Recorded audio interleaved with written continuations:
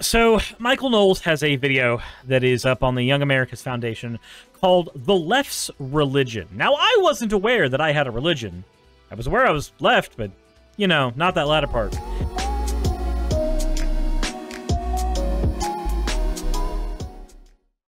But let's go ahead and take a look at uh, this particular video. Knowles makes the theological case against transgenderism. Uh, let me go ahead and make the theological case for transgenderism real quick. God made you trans. There. That, that's all I gotta do. Eh, we're done. That's it. That's the end of the video, guys. Insert end video tagline here. Oh, also, Shadowthirst, thank you for redeeming your points for... I guess we're not done yet. Let's go. I want to make the strongest case I possibly can for transgenderism.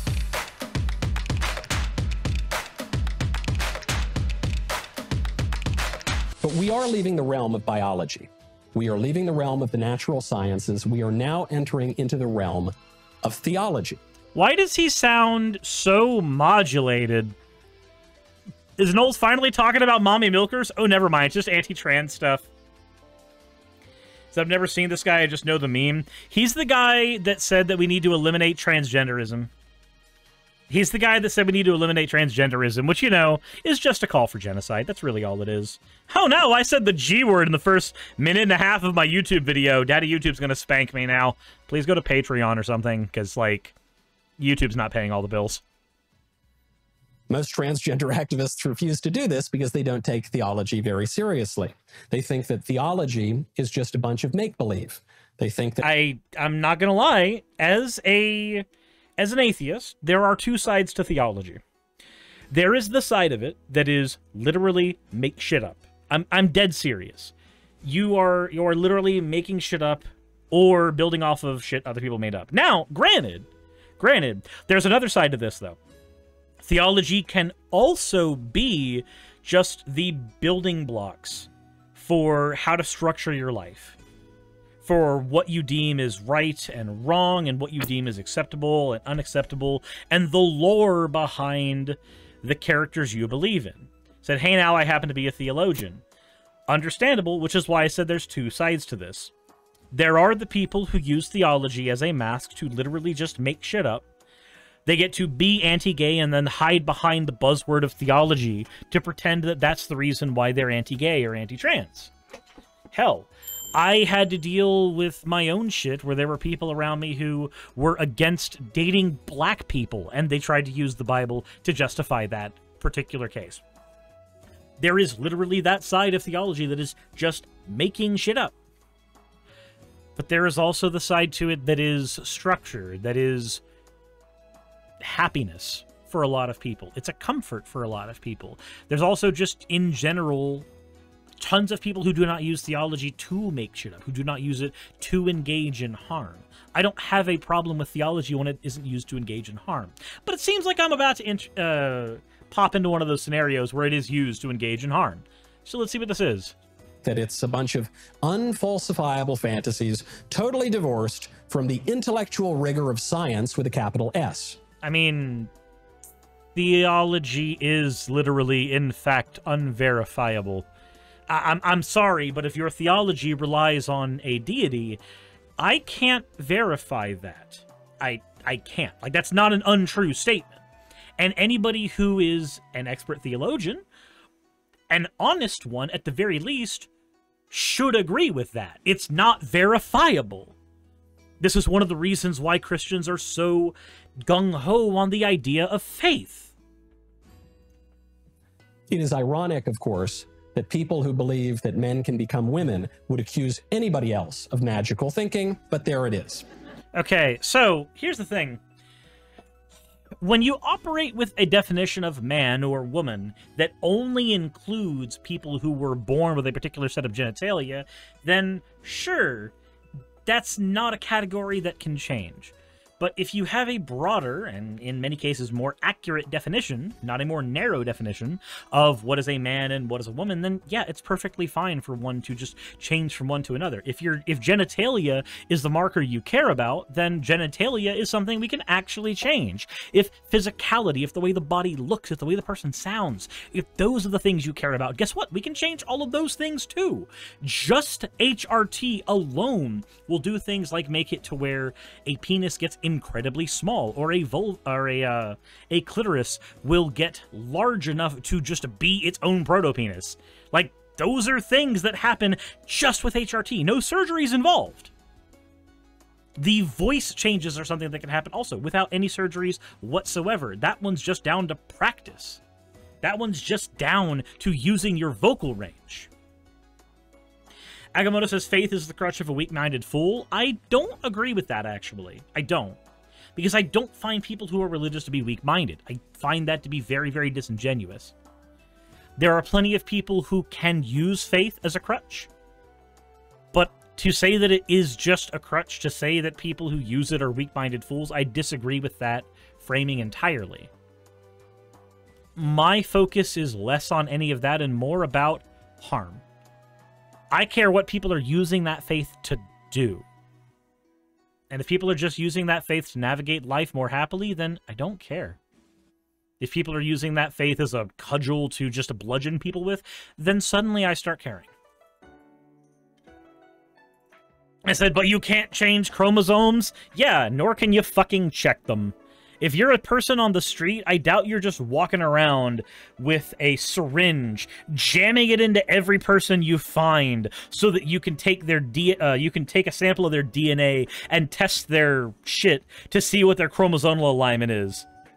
I doubt you're doing that. And so if you're not doing that, if you're if you're not willing to do that shit, then I'm sorry, you don't actually care about chromosomes.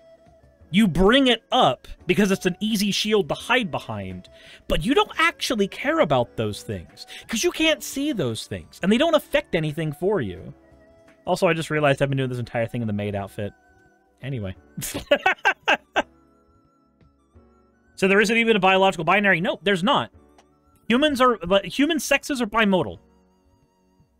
Gender is a spectrum. Human sexes are bimodal. I mean, technically gender is also bimodal, but you understand what I mean. Many variations in chromosomal makeup like XXY or uh, gene expressions, things like Klinefelters, yeah, all that shit. So I don't have chromosomes, I can only form aluminum zones. They do so because they don't understand theology, which is faith seeking understanding. Theology actually is the opposite of make believe and fantasizing. Mm, no, not really it's part and parcel. There's an aspect of theology that will always be making part of it up, because there is no check and balance for you making it up. If you don't agree with me, then I want you to do, uh, do yourself a favor. Go onto YouTube and look up any Christian versus Christian debate. These are two people who will be working off of the same theological text, and they will have come to two different conclusions about that theological text, and they will come and argue with each other for an hour or two to inconclusiveness. There will be no conclusion to their actual argument. They will simply have it, and then they'll continue having it forever. There is no part of me that can believe that those two Christians working on the exact same bit of theology are not making something up.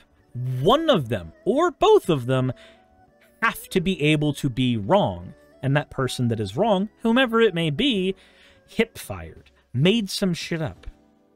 That's how that works. This isn't to say that all of theology is. Sometimes theology is somebody made shit up thousands of years ago and now you're using it as canon. Said two Christians can disagree on Psalms. Yeah. Just as natural science is the rigorous contemplation of the physical world, so too theology is the rigorous and logical contemplation of faith and the metaphysical world. No, it's not the contemplation of faith in the medical physical world. Usually the faith is its own thing. The contemplation has to do with texts. The contemplation has to do with lore. The contemplation has less to do with your own faith than it has to do with the writings around your faith. Transgenderism, I want to make the strongest case I possibly can for transgenderism. No, you don't, but continue. Transgenderism, in its most coherent form, not saying much, but this is the most coherent form you can get, is a fundamentally religious movement that makes. No, there's nothing religious about being transgender.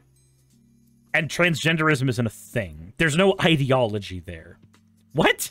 three claims about the relationship of the body to the soul. One, the trans being trans says nothing about the soul. Damn near nobody I know who's trans uses a soul as part of their argument for being trans. The body and the soul are entirely separate and therefore can be in conflict with one another. Two, that our true identity, our authentic self, is our soul. It has nothing to do with our bodies. It has everything to do with our souls. And three, it again it really has nothing to do with your soul. Like I don't know that many trans people that even believe a soul exists. When our bodies and our souls are in conflict, we must reject our bodies and we must entirely embrace our souls, even to the point of mutilating our bodies to better accord with our soul. Okay, so let's go ahead and parse that real quick. Mutilating your body to better align with your soul. That's him basically saying taking any type of gender affirming surgery to more align with your identity. He can keep saying soul, but the word he's looking for is identity. But okay. Those are the three best points I can give you for transgenderism. They're not new.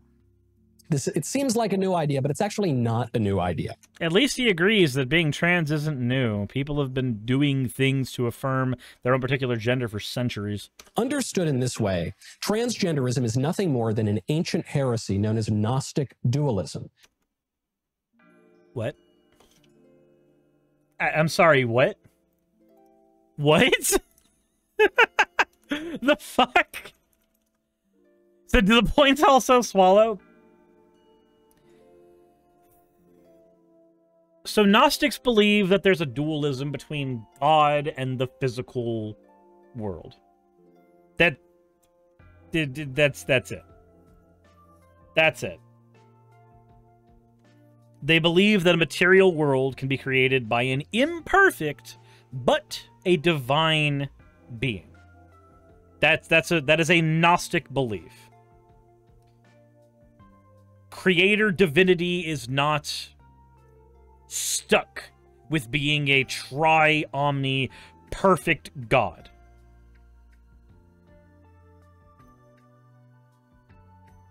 Most Christian doctrine believes that there is one God and that God is perfectly this, perfectly that, perfectly the other thing. They believe that that God is perfect in every possible way and omni in every possible way. Omni powerful, omni benevolent, omnipresent, all of those things.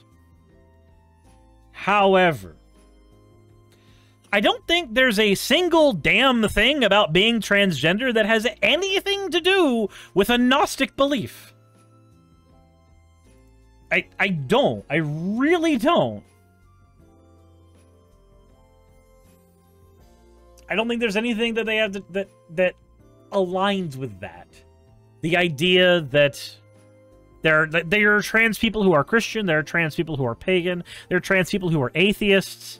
Uh, the transness is separate from their religious beliefs. Being trans is not a religion. Calling being trans a religion is a way to try to bring that particular part of somebody's identity down to your level. People can change their religion, but people can't really change whether or not they're trans. Gnostic dualism has held that the physical world is an evil facade that must be rejected for the pure and secret world beyond matter. This heresy has gone by lots of names over the centuries Gnosticism, Manichaeism in the third century, Albigensianism in the 12th century. It keeps cropping up. There are. Okay, so I'm not going to deny that Michael Knowles understands a decent bit about Gnostic philosophy. I'm not going to try to deny that. There's a trick that he's playing here, though. There's a trick that he's able to play very, very well here, and I want you guys to notice it. He's going to move any conversation about trans people and their rights away from what it should be, which is a conversation about human rights, a conversation about equal treatment, a conversation about people being treated like human beings. He moves the conversation away from that in order to move it instead into a realm that he can argue probably better than most people a realm of theology. Because the thing is, when we're talking about identity, we're not talking about something that you can argue for or against very easily, because I can't find your identity in the brain. I can't find your identity somewhere. But what I can do is I can poke holes in theology. And because I can poke holes in theology, I know that Michael knows that he can poke holes in theology. So his plan here is to take something that is rooted in identity, in personal human experience, and move it into the realm of something closer to dogma so that it's easier for him and his audience to understand it and therefore strike it down. It's a very, very good move, politically speaking. Because while we can look look at this, listen to it, and go, wow, that's a crock of horse shit. That's all horse shit. His audience, on the other hand, this is the part that I think you guys need to pay attention to. His audience are listening to that and they are taking it in. They're internalizing that.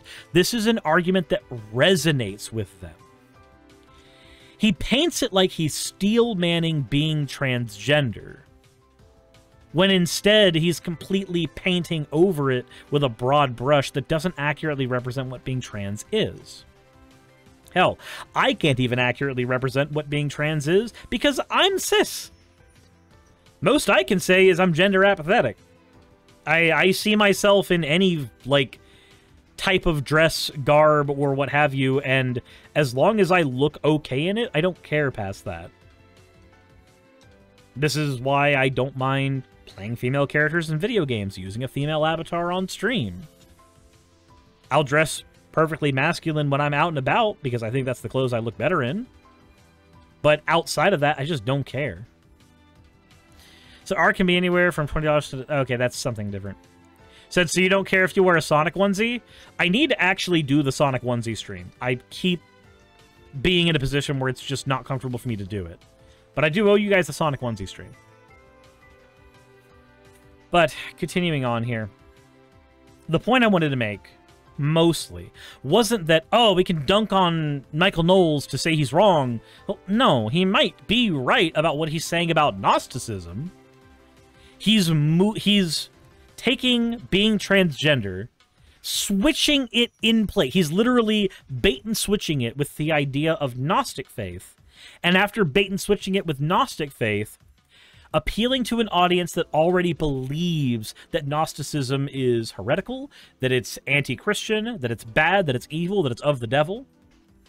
And now that he's moved into that category, he can now demonstrate that being trans is bad and wrong by telling people what they already want to hear about Gnosticism. For different variations, but it's always the same tune. Like transgenderism, all of these heresies were not primarily popular with the common people. All of these heresies throughout all of history were, of course, popular with the intellectuals. Only an intellectual could be so stupid as to believe these heresies. I was reminded of this. God, isn't it so weird that he literally gets to say, hey, these things were popular with smart people, and we don't like smart people. Ignore the fact that I'm on the stage trying to sound like a smart people. We don't like smart people here. Just okay. The other day, when Judge Ketanji Jackson do "You want a uh, you want a meme of Michael Dole's getting trans titty slap?" I guarantee you, this man has ordered at the very least two trans escorts, and he has gobbled their dicks up. Jackson was uh, in her confirmation hearings for the Supreme Court. She was asked a question by Marsha Blackburn on this topic. Senator Blackburn said, What is a woman? Can you define what a woman is? And anybody who identifies as a woman. What is a gamer? Somebody who identifies as a gamer. What is a woman? Somebody who identifies as a woman. Like, if it's a matter of identity, then literally the defining factor is whether you identify as it. And Ketanji Jack, Judge Jackson, a federal judge, laughed. She said, Of course I can't. I, am not a biologist. I can't tell you what a woman is. Ketanji. A woman is a social category that we created that broadly, but not all the time, reflects a sexed category of female. A woman is a social category. It's a set of expectations, both in physicality and in mannerism.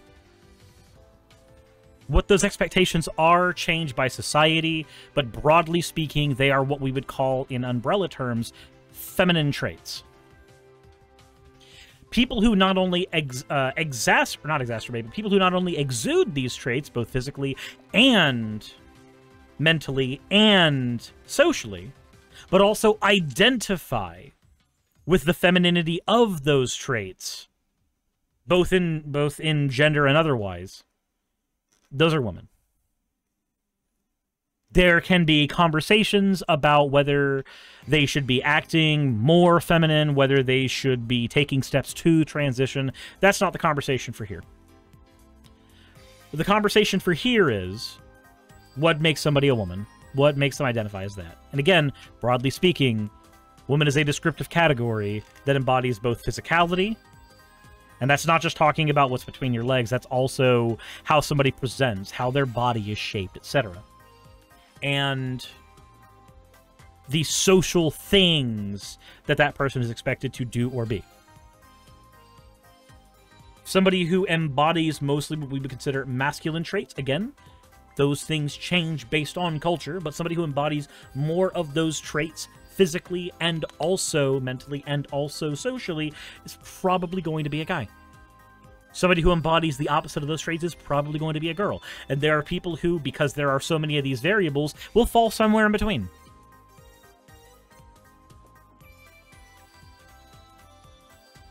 However, unironically, unironically, I think I can tell you that it is easier to answer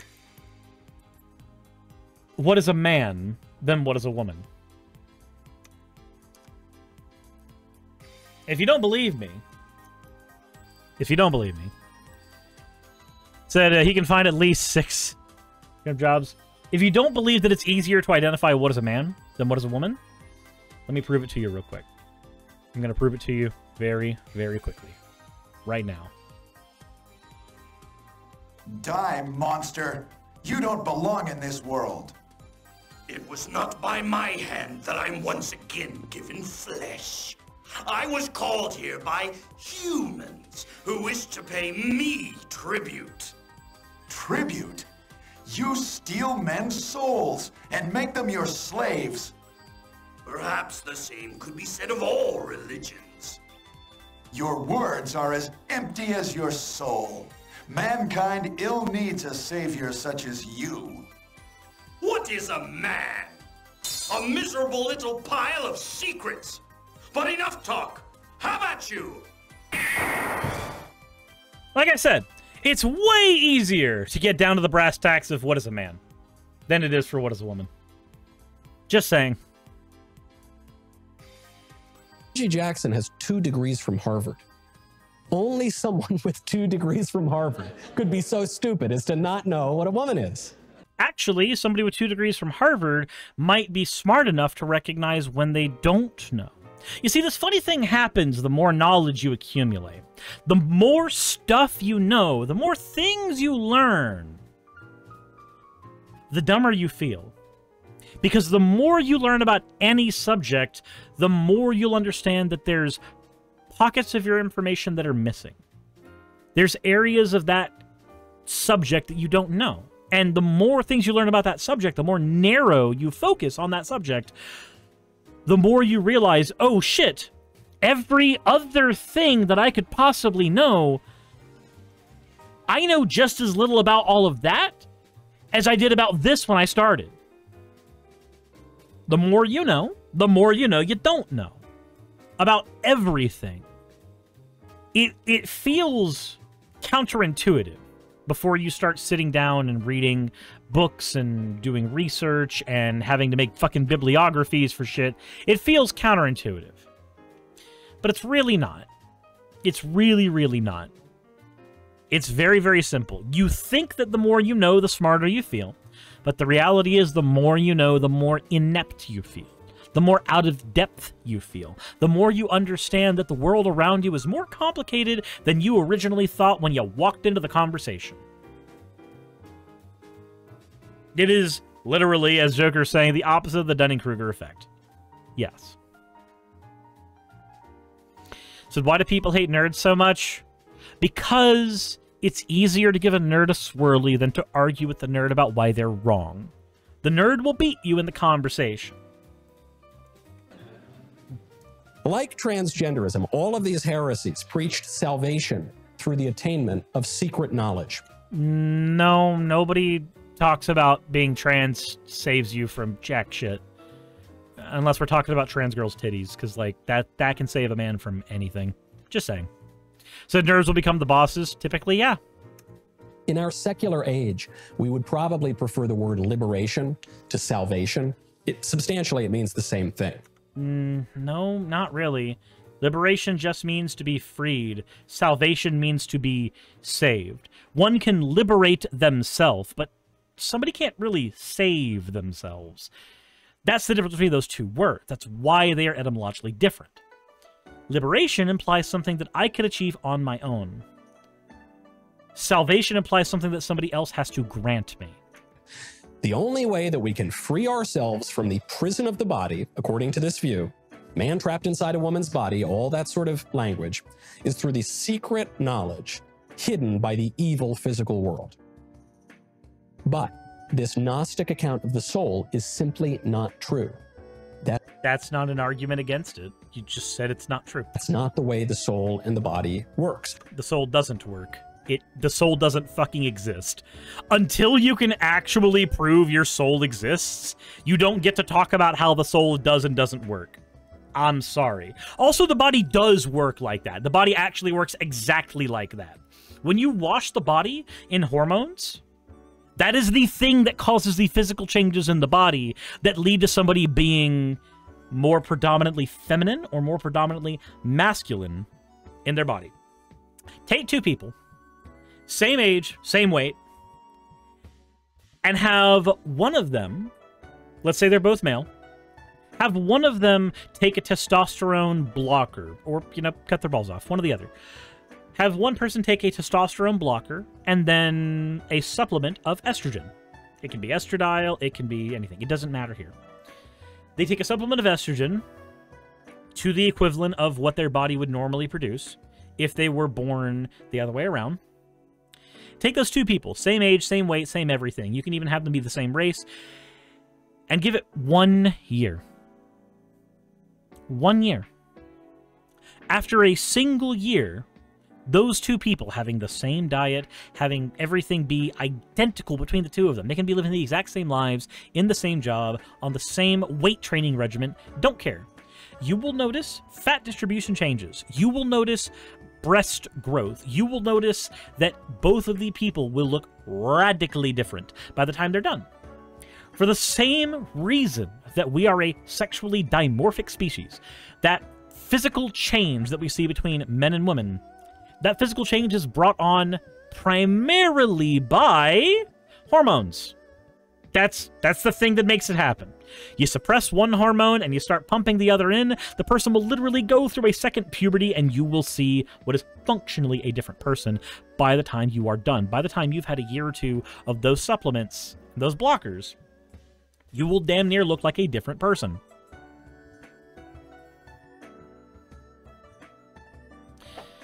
So when you so that's not how the body works. No, unfortunately for you, that is exactly how the body works. And when you go, that's not how the soul works. My guy, that's not even a fucking thing.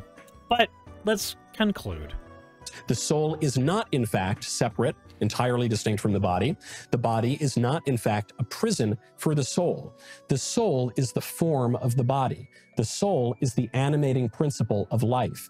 Sure it is, which is why there's lots of life that people will say doesn't have a soul, and yet is still just as animated. This is not a typical way that we talk about transgenderism because No, because it's a disingenuous way. It's an ingenious way if your goal is to turn an army of Christians against trans people, but it's also an incorrect way. Because we've completely thrown theology out the window. But transgenderism can only even possibly be sort of understood as a theological movement. Hence, our, our necessity to apply the rigors of theology to this movement, and it crumbles when you do that. It, yeah, because it's a category error. When you engage in a category error, let me make this make sense easier. Okay, cool. So, when I try to tell you about the sound of purple, it doesn't make sense. It crumbles when I try to talk to you about the sound of purple. That's because purple's not a fucking sound. If I move something away from the category that it's in, if I take purple, which is a color, and I talk about sound, which is something that it is. I understand there are people who actually can hear colors. I forget the word that actually describes that. But, like, the fact of the matter is, these are two different things. There are sounds, and then there are colors. There are audio cues, and then there are visual cues. If I try to describe purple only in audio cues, then I'm going to get a different experience for every person I describe it to, because it doesn't make sense that way. Green is not a creative color. So what are you talking about? Purple doesn't have sound? No, it doesn't.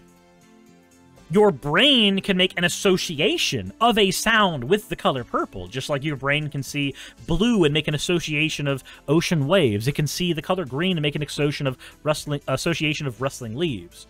But sounds do not come from colors. They do not create audio waves. They are wavelengths on the spectrum of light, not sound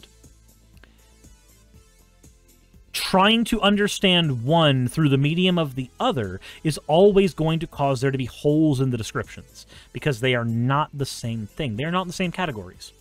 So when you try to describe being transgender through the lens of theology, then of course it's not going to work because it's not a theology, it's merely an identity. It is a social identity one either takes upon themselves or rejects. Axel says purple sounds round. Blue is the best taste. Stuff I don't need to know about what color crayons you think are the best flavor. But that was that there. My takeaway from this is, like I said, this is an ingenious way to try to argue against transgender people to a group of people who are primarily concerned with their own religion. You move being transgender into the pocket of religion, and then you talk to an audience of people whose religion necessitates disliking other religions. Because they say well, there's only one true way to salvation, and that's Christ, and so you can't like other religions because the other religions are fake. Then, of course, being transgender is going to be considered a falsehood. It's going to be considered a fake.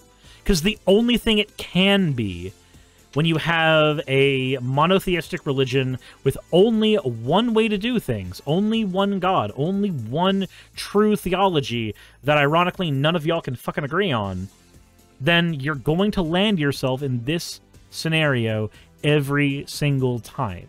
With the Christians only having the option to hate the trans people. That's all they get to do. Because if being trans is theology, then they don't get to like it. They don't get to appreciate it because it is all going to be considered heretical. It is an ingenious, but absolutely flippant and awful move on the part of Michael Knowles. But I think it's equally important to listen to your enemy's tactics to listen to the things they are saying, and most importantly, understand why they are working, than to just say, well, you're wrong, neither, neither, neither. However, I think it's very important for me to also tell uh, Michael Knowles that you're wrong, neener, neener, neener. Athic Shenanigans, thank you for the raid. How was your stream? With that said, though, let me know what you guys think in the comment section below. hit the like button if you haven't already, and as always, everybody, insert end of video tagline here. Hey everybody, just wanted to go ahead and showcase a bit of artwork before we conclude things, but this one's a little bit different. It's actually a little song that Grey Wolf decided decided to make. Decided? Wow, I'm bad at this. I'm gonna go ahead and play the song itself, and honestly, this is really, really good and kind of funny. Let's let's go ahead and take a listen.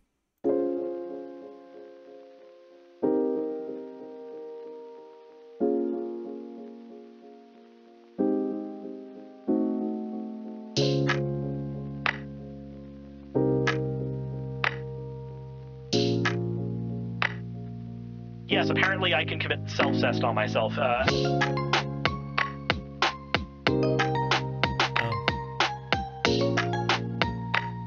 Well, there's that, I guess.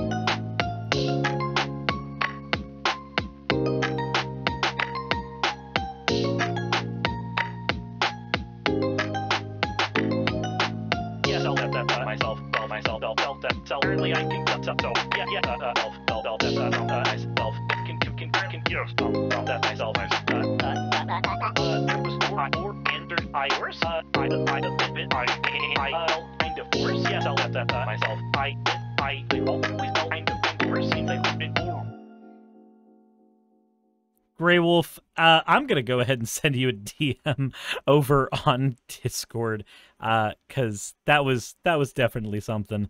Uh, let's go ahead and close things out. Thank you very much for that. Hey, I just quickly want to give a thank you to all of my wonderful patrons who keep this show running. YouTube and Twitch are a pretty bumpy ride at the best of times, and the stability a Patreon provides me is worth more than I can say here. I'd also like to thank each and every one of my $20 and up patrons here, and they would be Red Joker, Britzkrieg, Cameron, Dren, Jemshin, Smiling DM, Poundini, Mabbity Babbity, Naomi, Isaac, Jordan, Ravi, Giuni, Kiratorian, Prisma, all of you, Sagitt, uh, I'm not saying that part, and Starlight. And finally, thank you to everyone else that helps keep this channel alive. While you're here, why not check out another video? And thank you for watching.